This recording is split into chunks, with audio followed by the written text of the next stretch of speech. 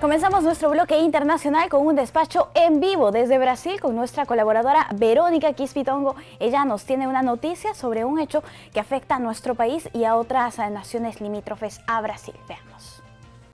Buenos días Paloma, soy Verónica Quispitongo informando nuevamente para el canal del Jurado Nacional de Elecciones del Perú. Brasil ha declarado el estado de calamidad en el Pantanal por los catastróficos incendios que asolan el mayor humedal del planeta. Según datos divulgados por el Instituto Nacional de Pesquisas Espaciales, los incendios reportados en lo que va de septiembre prácticamente duplican los 2.880 registrados en el mismo periodo del año pasado. Una tragedia que eleva la presión internacional contra la política ambiental del presidente Jair Bolsonaro. Mientras intervienen el ejército y las fuerzas aéreas, decenas de voluntarios y los bomberos del estado de Mato Grosso arriesgan sus vidas para salvar a cientos de animales, entre caimanes, erizos, venados, búfalos, osos hormigueros y hasta jaguares que huyen del fuego. Un panorama similar al del año pasado, cuando las imágenes de la Amazonía brasileña en llamas conmovieron al mundo y tuvieron repercusiones en Paraguay, Ecuador, Bolivia y Perú afectando así un importante espacio forestal y de biodiversidad.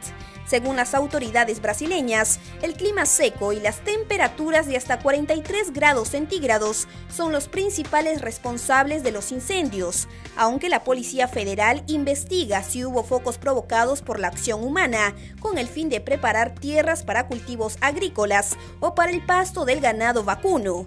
El secretario de Protección y Defensa Civil de Brasil, Alexandre Lucas Alves, ha señalado que el gobierno ha enviado una misión ministerial para evaluar y definir la estrategia de combate de los voraces incendios que azotan el Pantanal.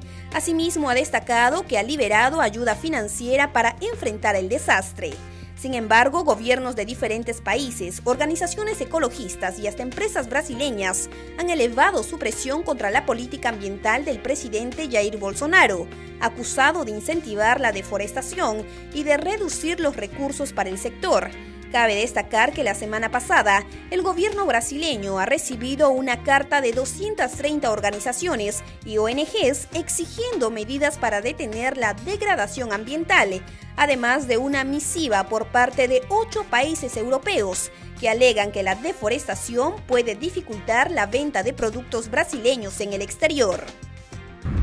Según el Instituto Nacional de Pesquisas Espaciales, los incendios de este año habían destruido hasta la semana pasada 2,35 millones de hectáreas, es decir, el 16% del humedal en Brasil y un área superior a la de países como Israel o El Salvador.